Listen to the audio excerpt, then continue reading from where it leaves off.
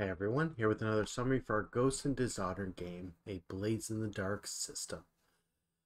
So, the lot of you went up against the military again, coming with an ingenious plan. The grinders have wanted to steal one of their ships for some time.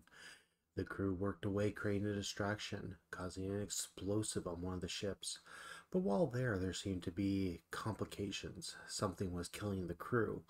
Uh, something had them spooked beyond the fact that terrorists were there to blow up the ship, and something almost caught them. Meanwhile, the other half of the crew prepared the ship for stealing.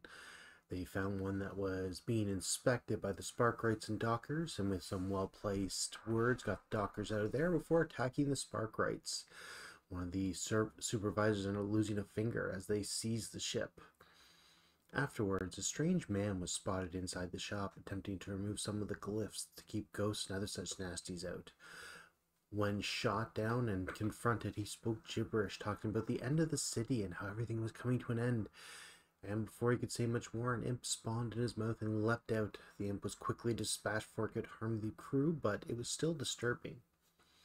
Upon escape, uh, the distraction ship exploded with the others escaping and the one being stolen was set off with the grinders.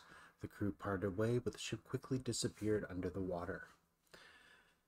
The second heist involved moving the lair. It turns out that Mr. Lucas wrote a interesting article where the Silkshore Phantoms may or may not be living, as well as informing some mutual friends of their betrayal. With that in mind, the crew decided that they would clean out the secret lab the military had abandoned. Bringing up a powerful ritual, they summoned some kind of patron from darkness. This demon wolf came and destroyed and scared off most of the failed experiments, leaving it empty and hidden from the outside world to a certain degree. Those not trained in the arcane would have a hard time finding this, and those that do will notice the similar markings that it's under strong protection.